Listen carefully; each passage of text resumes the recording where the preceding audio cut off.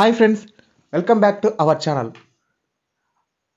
ఈరోజు డైరెక్ట్గా వీడియోలోకి వెళ్ళిపోదాం. వెళ్ళిపోయే ముందు ఒక చిన్న రిక్వెస్ట్ అదేంటంటే మన దేశానికి రిక్వెస్ట్ అని కాదు ఒక చిన్న మాట. మన దేశానికి వెన్నెముక లాంటి వాళ్ళు. ఒకటి రైతన్న. రెండవది మన కోసం ప్రాణాలు సైతం లెక్క చేయకుండా కాపలా కాస్తున్న ఆర్మీ వాళ్ళు జవాన్లు. వీళ్ళకు ఏమిచ్చి తీర్చుకోగలం మన వాళ్ళ రుణం. కాబట్టి వాళ్ళ కోసం ఈ వీడియో రైతులకు ఆర్మీ వాళ్ళకు ఈ వీడియోను అంకితం చేస్తున్నాను. ఇంకోటి ఈ ధర్నాలు ఎందుకు చేస్తున్నారు ఏం చేస్తున్నారని తెలుసుకుందాము. అలాగే కాశ్మీర్లో ఇప్పుడు ఇప్పుడు పరిస్థితులు ఎలా ఉన్నాయి? ఈ శీతాకాలంలో వాళ్ళు ఎలాంటి కష్టాలు పడుతున్నారు? అలాంటి కష్టాలను కూడా ఎంతో ఇష్టంగా ఇష్టపడుతూ వాళ్ళ డ్యూటీలను చేస్తున్నారు. వాళ్ళు అలా చేస్తున్నారు కాబట్టి మనం ఇక్కడ మన ఇళ్ళల్లో ఏ టెన్షన్ లేకుండా ప్రశాంతంగా నిద్రపోగలుగుతున్నాము ఒకే ఒక్క రోజు రైతన్న కానీ జవాను కానీ కళ్ళు మూసుకుంటే ఈ దేశం నామరూపాలు లేకుండా పోతుంది. కాబట్టి వాళ్ళకు సపోర్ట్ చేద్దాం.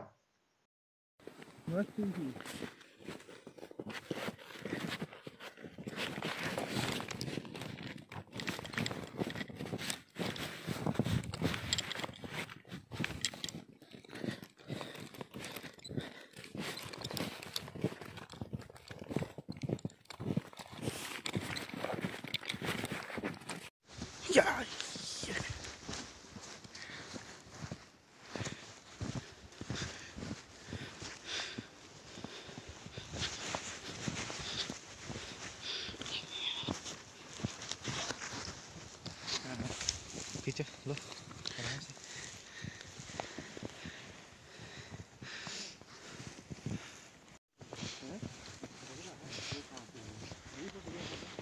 Partente.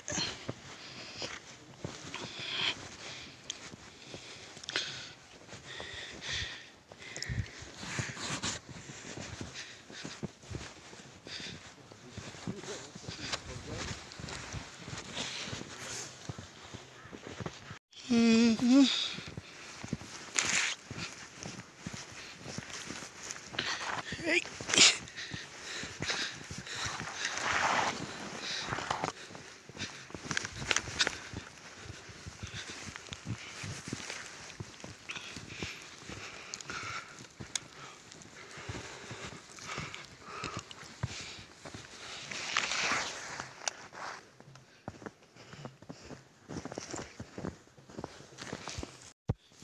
amazing place.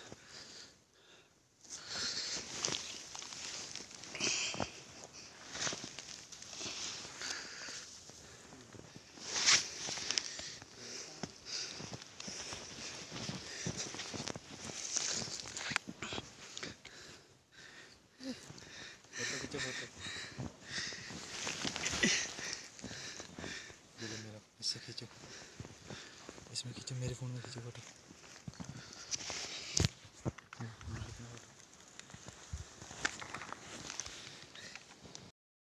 ఈ వీడియో చూశారు కదా?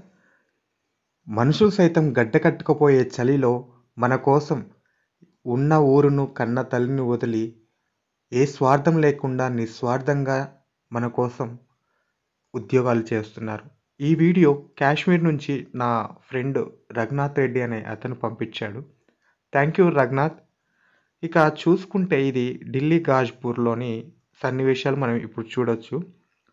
అసలు ఎందుకు ఈ ఉద్యమం చేస్తున్నారు అనేది మనం తెలుసుకున్నాం కదా. ఇప్పుడు రైతులు డిమాండ్స్ ఏంటి అనేది మనం తెలుసుకుందాం. అసలు రైతులు ఏమని డిమాండ్ చేస్తున్నారంటే number one minimum support price ఒక చట్టంగా చేయమని. పంతొమ్మిది వందల నలభై నుంచి పంతొమ్మిది వందల అరవైలో భారతదేశంలో తినడానికి తిండి లేనంత కరువు వచ్చింది.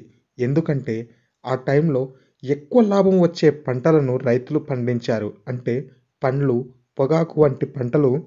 దానివల్ల ధాన్యాన్ని గోధుమలను పండించే రైతుల సంఖ్య తగ్గిపోయింది. అందువలన కరువు వచ్చింది.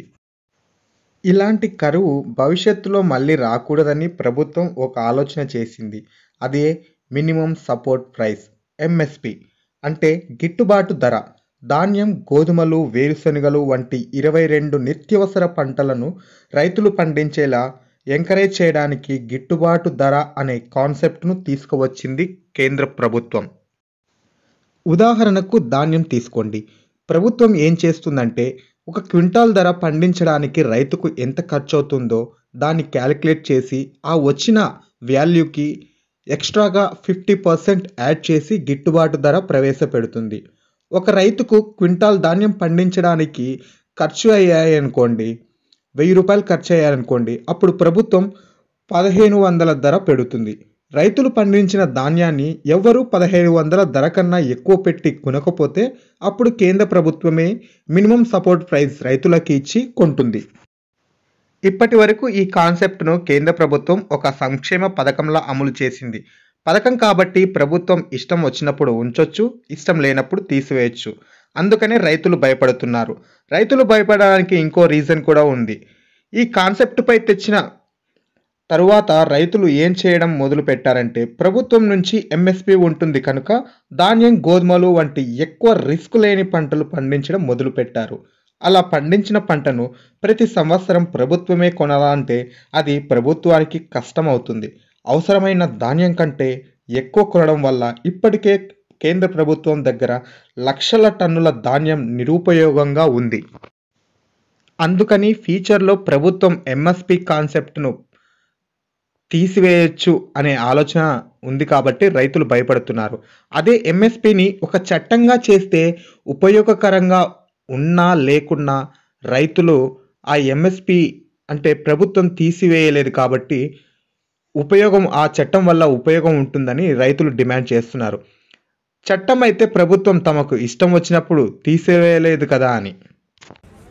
సో ఇవి రైతుల డిమాండ్లు అనమాట ఇప్పుడు వరకు మనం లాస్ట్ వీడియోలో ఈ వీడియోలో కొంత సమాచారాన్ని తెలుసుకుందాం కదా. మళ్ళీ నెక్స్ట్ వీడియోలో మరింత సమాచారాన్ని తెలుసుకుందాం మనము. అప్పటి వరకు ఢిల్లీ యూపీ సరిపద్ సరిహద్దుల్లో ఉన్నటువంటి ఈ రైతుల ఆందోళనలు రైతుల ఉద్యమ సన్నివేశాలు మనము కంటిన్యూగా చూస్తూ ఉందాము. ఓకేనా? మరి ఈ వీడియో మీకు ఖచ్చితంగా నచ్చుతుందనే అనుకుంటున్నాను మరి. మరి డైరెక్ట్గా ఈ వీడియోలు అనేది చూసేద్దాం. ఎంత పేషెన్స్తో ఎంత ఓపికతో కూడా తయారు చేసినది మనం చూడొచ్చు ఇక్కడ అంతా కూడా. ఇవన్నీ రోటీస్. చూడు అదంతా వెళ్ళి తీసుకోండి అని చెప్తా ఉన్నారు. చూస్తే ఇక్కడ అంతా అరటిపళ్ళు కానీ ఎన్ని స్వీట్ బాక్సులు కానీ ఇవన్నీ కూడా స్వీట్ బాక్సులే మొత్తం వచ్చేసి. వీళ్ళకి కావాల్సినటువంటి పరుపులు బెడ్షీట్లు నిత్యావసర సరుకులు అన్నీ కూడా ఇక్కడ తెచ్చుకున్నారు.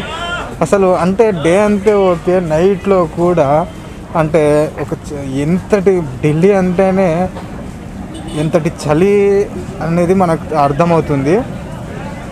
అలాంటిది ఇంతటి చలిలో బహిరంగ ప్రదేశంలో అది కూడా వీళ్ళు ఆందోళన కొనసాగిస్తున్నారంటే హ్యాట్స్ ఆఫ్ అన్నదాతలకు వీళ్ళందరికీ కూడాను.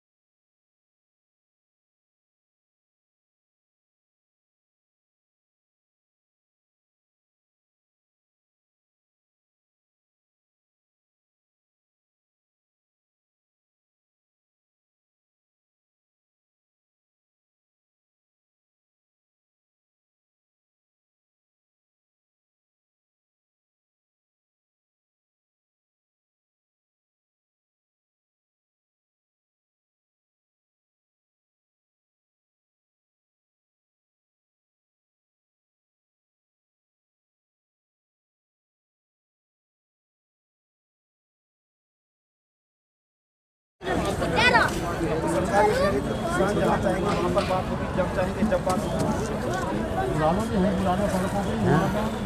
आज सरकारी अब सरकार को रोज एक हम तो मैं लेंगे तो हमें चीज़ें महत्वपूर्ण चीज़ें इस तरह की कल खबर चली थी या जो जानकारी थी किसान अब सरकार के कानून का साथ साथ विरोध कर